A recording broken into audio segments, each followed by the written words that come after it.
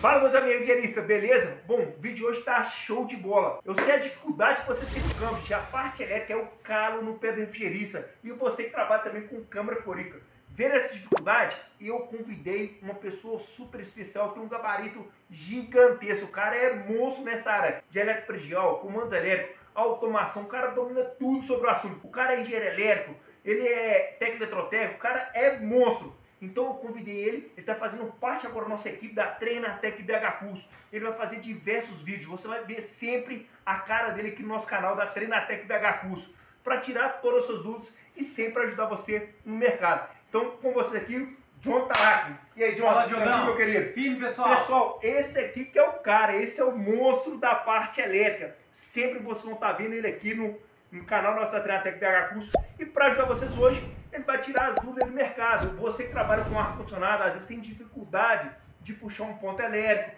tem a dificuldade de ler um circuito elétrico, um projeto elétrico, ele vai explicar um pouquinho para vocês. Beleza? Roda a vinheta e assista o vídeo até o final.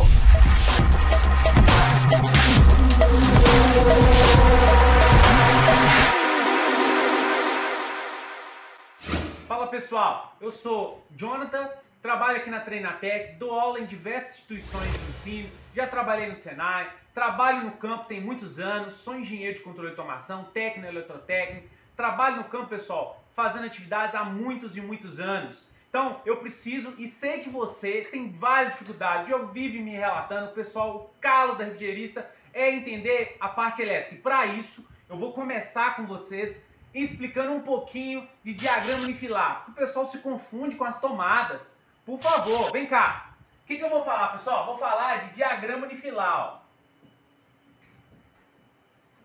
No diagrama unifilar, pessoal, o pessoal se confunde demais.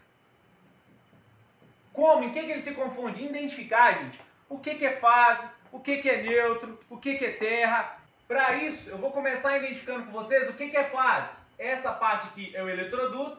Quando puxo o pauzinho assim, ó, essa cruzetinha assim, ó, fica a fase. E aí, depois disso, o que, que eu vou ter? Eu vou ter o neutro, o bom e velho neutro. Como é que ele vai fazer? Pensa só, ó, um Lzinho de cabeça para baixo.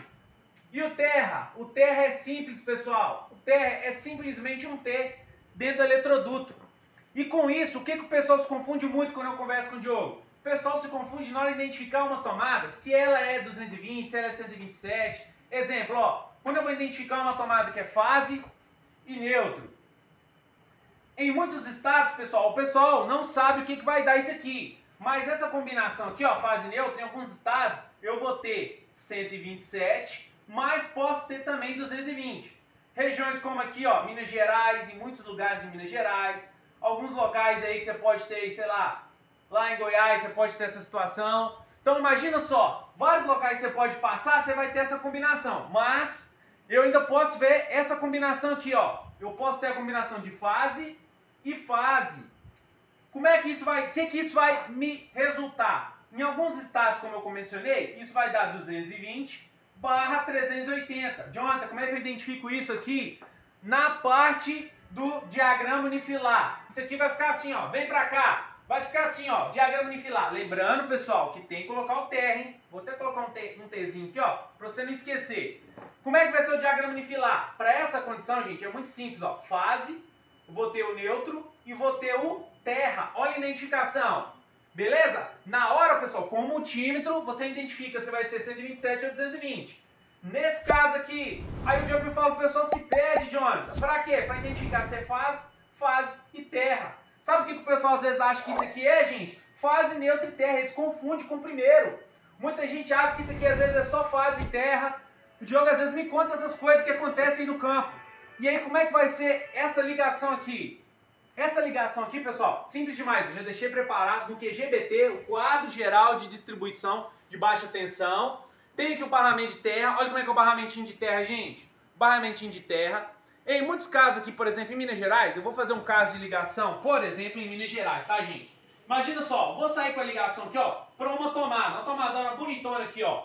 Tomada bonitona aqui para um ar-condicionado. Uma tomada que em muitos lugares, pessoal, em alguns projetos, você vai ter essa, essa nomenclatura, tá? Em algumas vezes você vai achar essa nomenclatura, TUI, tomada de uso específico, tá? E aí, como é que vai ser essa tomada aqui? Essa tomada, pessoal, a fiação é simples, ó. Você identifica isso aqui, ó, ó.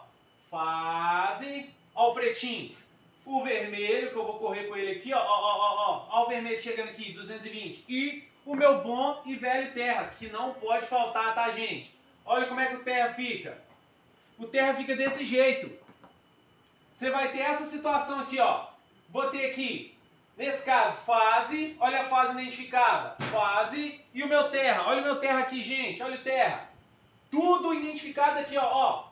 Essa aqui é a minha fase, ó. Fase aqui. E aqui, ó. A outra fase, a outra fase identificada. E também o meu terra. Nessas condições, gente, a gente vai ter, ó, o meu bom e velho 220. Isso aqui na região metropolitana de Belo Horizonte, em Minas Gerais e em muitos locais. E no seu caso, como que é? Me fala aí. Comenta aí nos comentários como é que vocês identificam. Depois, sabe o que, que eu vou mostrar? Dá um close aqui, produção, rapidinho aqui, ó. Eu vou explicar para vocês em outra aula como identificar através das cores. Existe, pessoal, na norma 5410, o código de cores para cada utilização, pessoal. Eu vou mostrar isso depois, vou explicar para vocês. O Diogo vive me falando que o pessoal não segue esse código, o pessoal faz de qualquer jeito, faz umas emendas, é cada linha de guache. Mas antes, eu vou te ensinar como é que é, pessoal, no diagrama unifilar. Eu mostrei no circuito funcional e vou mostrar agora a representação do diagrama unifilar. Como é que ele vai ficar? Ó, eu tenho de distribuição aqui, ó, ó, coloridinho, ó. É de jeitinho aqui mesmo, pessoal. Assim que em Minas nós fala. Nesse jeito aqui, pessoal, vai estar tá aqui, ó, vou ter a representação e vou ter aqui a minha tomada, ó, tomada representada. Como que isso aqui tá, pessoal? Ó, o quadro, a caixa de passagem e minha tomada. Tudo aqui representado, ó. O, o nosso QGBT, QGBT, que é o quadro geral distribuição, passa pela a caixinha de distribuição e eu agora eu vou ter saindo aqui. O que, que vai estar tá saindo aqui, ó? Vou estar tá passando aqui. Vou ter lá fase, vou ter lá, no meu caso eu fiz fase, fase, de novo a fase e o terra. Ué, John, então ele passou aqui, passou, e aí ainda tem a representação do número do meu circuito. Que número de circuito que é esse? Às vezes vai ser o meu circuito 2, o meu circuito 1, em muitos casos, circuito 1 é de iluminação. Então, às vezes você começa as tomadas pelo circuito 2 em diante. Então você vai ter o circuito 2 identificado, númerozão bonitão lá, ó. E aí eu vou seguindo, ó. Vai passar por aqui, ó. Se tiver outras distribuição para outros locais da casa, vai ter a fiação passando. E aqui, ó, eu vou ter a representação, ó, dele de novo, fase, fase e o meu terra.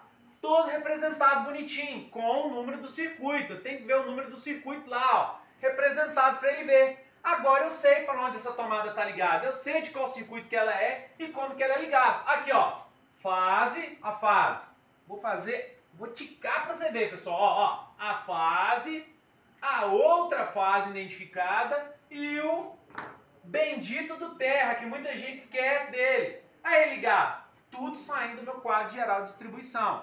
Então agora você sabe ler a, o funcional e o unifilar através da identificação que a gente fez, ó, a simbologia bonitona. Bacana? Quer aprender mais? Quer saber mais? O Diogo tem um recado.